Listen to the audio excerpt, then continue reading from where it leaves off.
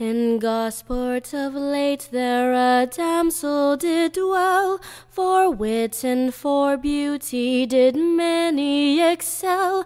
A young man did court her to be his dear, And he by his trade was a ship carpenter. He said, Oh dear Molly, if you will agree and will consent to marry me, my love for you will ease me of sorrow and care, if you will but wed a ship carpenter. With blushes more charming than roses in June, she answered, Sweet William, to wed I'm too young. Young men are so fickle, I see very plain. If a maid is not coy, they will her disdain. They flatter and swear her charms they adore. When gained her consent, they care for her no more.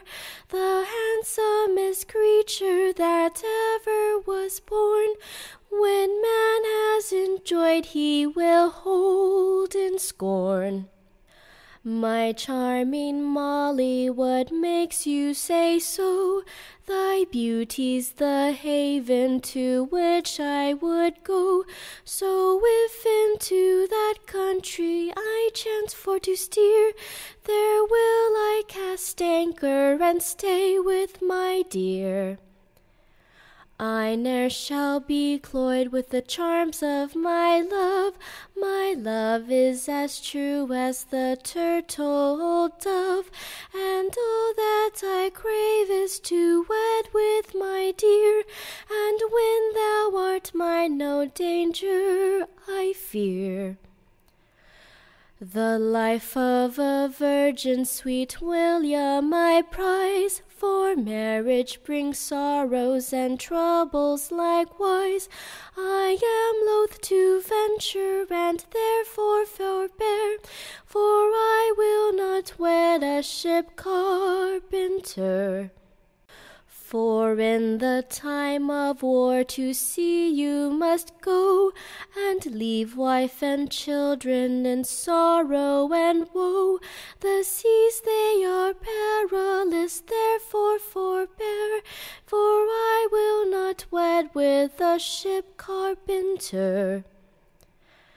But yet all in vain she his suit did deny, though he still did press her to make her comply.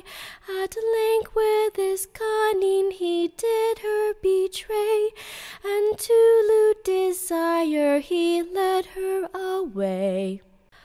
But when that with child this young woman were, the tidings she instantly sent to her dear, and by the good heaven he swore to be true, saying, I will wed no other but you. They passed on their time till at length he hears the king wants sailors to the sea he repairs, which grieveth the damsel unto the heart to think she so soon with her lover must part. She said, My dear William, ere thou goest to sea, Remember the vows that thou madest to me. But if you forsake me, I never shall rest. Oh, why dost thou leave me with sorrow oppressed? Then with kind embraces to her he did say, I'll wed thee, dear Molly, ere I go away.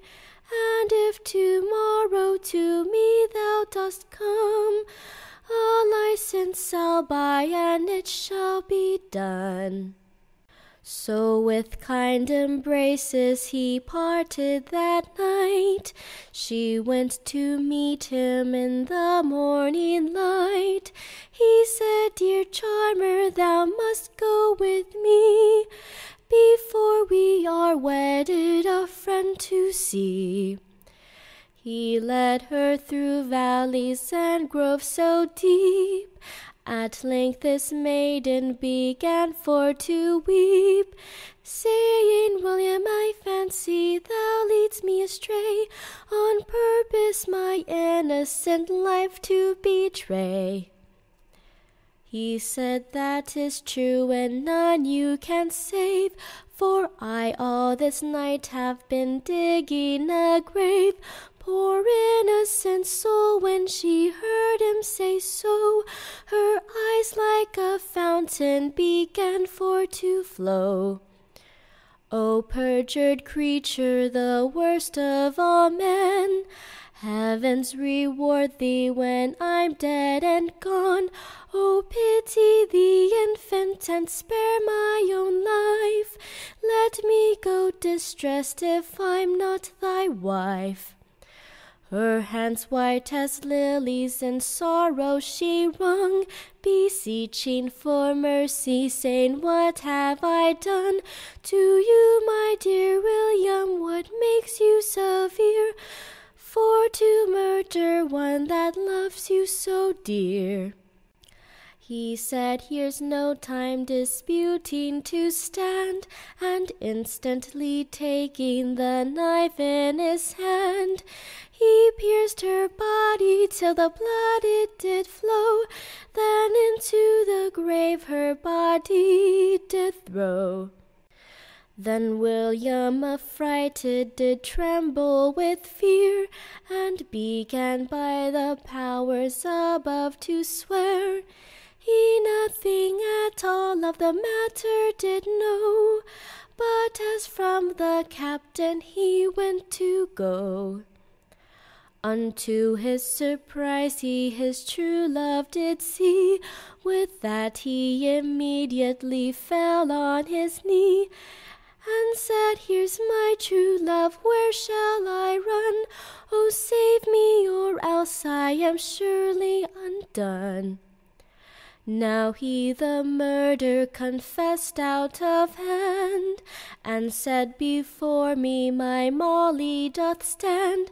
Sweet injured ghost, thy pardon I crave, and soon I will seek thee in the silent grave. No one but this wretch did see this sad sight. Then raving distracted, he died in the night.